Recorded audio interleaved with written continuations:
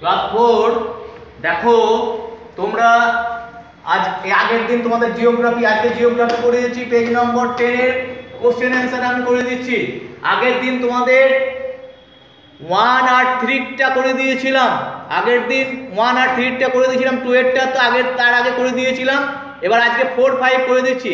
ফোরের বলেছে, দেখো প্রথমে which is the southernmost tip of the Indian peninsula হ্যাঁ ভারতীয় উপদ্বীপের মধ্যে সবচেয়ে শেষ সীমানা, দক্ষিণের শেষ সীমানা কোনটি?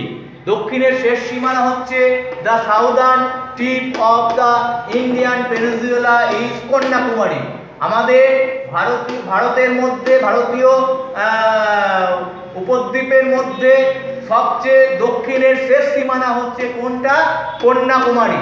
তাহলে the southern tip of the Indian peninsula is Kanyakumari Kanyakumari সবচেয়ে শেষ সীমান্তে অবস্থিত দক্ষিণের দক্ষিণের শেষ সীমান্তে। এবার তারপরে চলে যাও ফাইভ নম্বরে কোশ্চেন ফাইভ নম্বর বলেছে what do the colours on our national flag stand for আমাদের আমাদের ন্যাশনাল ক্লাস জাতীয় পতাকার কালার কালারগুলো অবস্থান কি কি কি কি বহন করে? তাহলে তোমরা দেখো, আমরা, তোমরা জানো যে আমাদের তেরঙ্গা তিনটি কালার হ্যাঁ?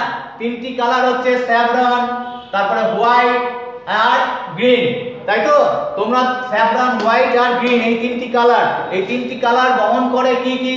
কি কি বহন করে? তার ইয়ে কি? প্রতীক কি দেখো? স্যাফরন স্ট্যান্ড ফর স্যাফরন বহন করে কি?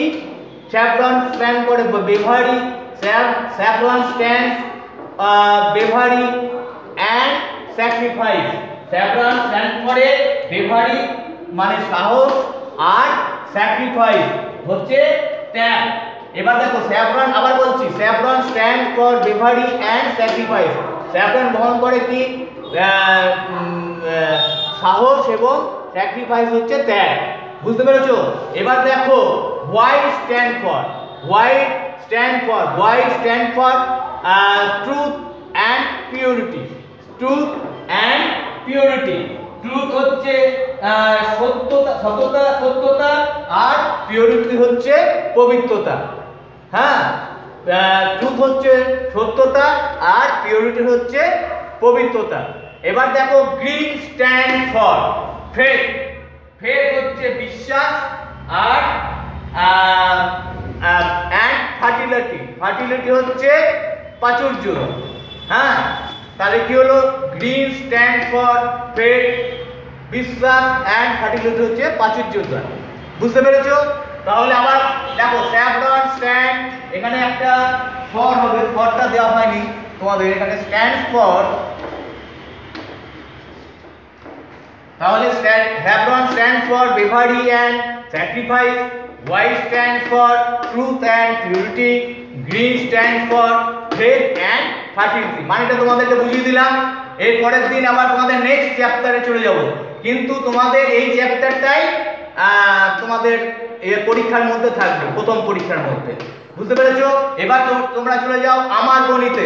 আমার গণিতে পৃষ্ঠা নম্বর চোদ্দই চলে যাবে। দেখো আমার গণিতে প্রথমেই আছে, এর আগের দিন তোমাদেরকে করিয়ে দিয়েছিলাম পাঁচ পর্যন্ত। আজকে দেখো তোমাদের ছয় থেকে করাচ্ছি। ছয়ে দেখো কি বলেছে?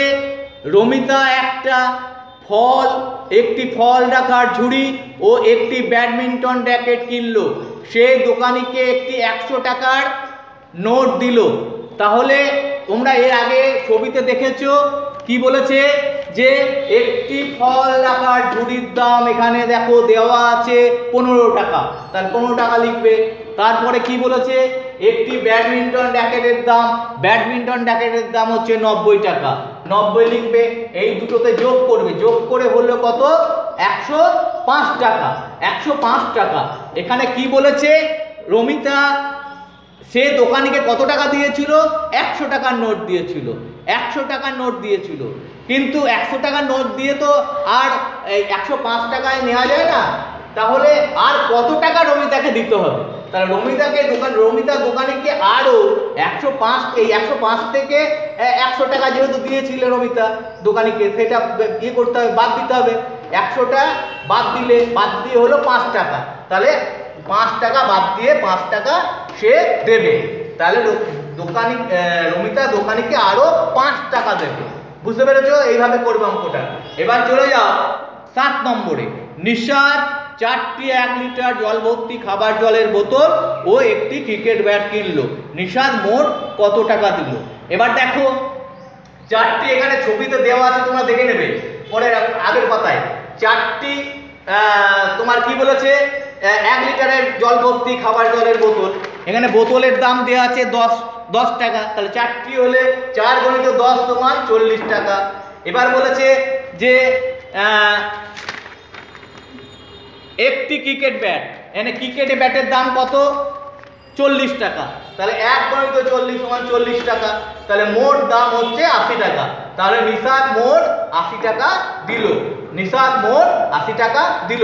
এবার চলে যাও তোমরা পরের পরের আহ, অঙ্কটায় কি বলেছে? আটের লালি চার জোড়া কলা দুটি আম কিনলো। লালির কাছে একটি দশ টাকা একটি কুড়ি টাকা একটি পঞ্চাশ টাকা ও একটি একশো টাকা একশো টাকার নোট আছে। সে কোন নোটটি দোকানিকে দেবে? এবার তোমরা দেখো আগে কি করতে হবে। চার জোড়া কলার দাম কত আর দুটি আমের দাম কত? আগে তোমরা যোগ করে নেবে। দেখো প্রথমেই বলছে চার জোড়া কলার দাম হচ্ছে এক জোড়া তোমরা তো জানো, এক জোড়া সমান দুটো, তাহলে চার জোড়া সমান আটটা, চার দুগুণে আট, তাহলে আট গণিত চার, কলার দাম যেহেতু চার টাকা, তাহলে আট গণিত চার সমান বত্রিশ টাকা। আর দুটি আমের দাম হচ্ছে, একটা আমের দাম হচ্ছে আট টাকা, তাহলে দুটি আমের দাম হচ্ছে আট গণিত দুই। সমান ষোলো টাকা। তা ষোলো আর আটে, এই ষোলো আর বত্রিশে যোগ করে হলো আটচল্লিশ টাকা। তাহলে মোট দাম হলো আটচল্লিশ টাকা। তাহলে লালি পঞ্চাশ টাকার নোট দোকানিকে দিল। যেহেতু আটচল্লিশ টাকা দাম, সেহেতু পঞ্চাশ টাকার নোট দোকানিকে দিল।